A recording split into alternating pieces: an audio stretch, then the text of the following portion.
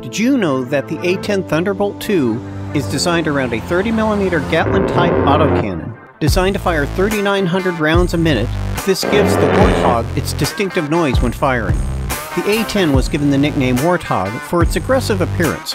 It saw extensive combat during the 1991 Gulf War. It's credited with destroying more than 900 tanks, 2,000 military vehicles, and 1,200 artillery pieces, and it even shot down two helicopters with its Gatling gun.